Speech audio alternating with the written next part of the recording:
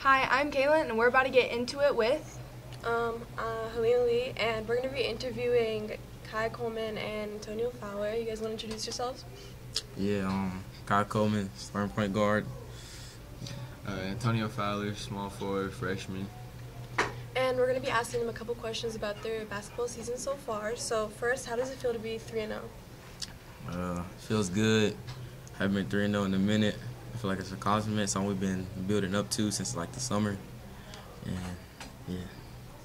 Feel real good. I mean, it's my first year here, so just want to keep getting more wins, go undefeated. Yeah. So, how do you guys feel going into the rest of the tournament?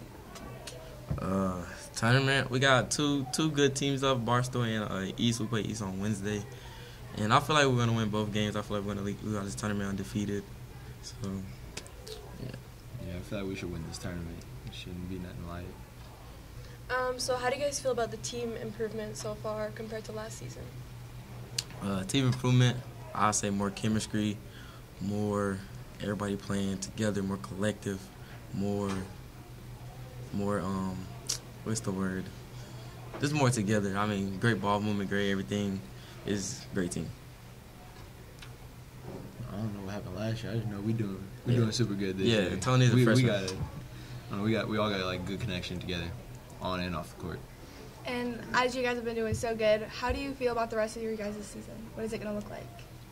Uh, rest of the season, I feel like it's gonna go good. I mean, we play some really tough teams like January and February and stuff like that. But by then, we should be also up there in great teams too. So I feel like it's gonna go good.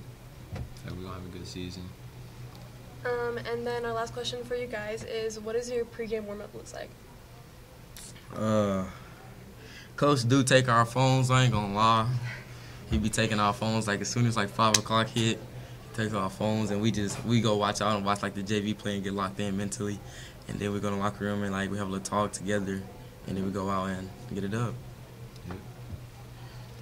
All right. Well, thank you so much, and congratulations on how you guys have been doing so far this season. And we hope to see you guys do amazing things this year. I'm Caylen. I'm Heleen, and you, You just just got into it. it.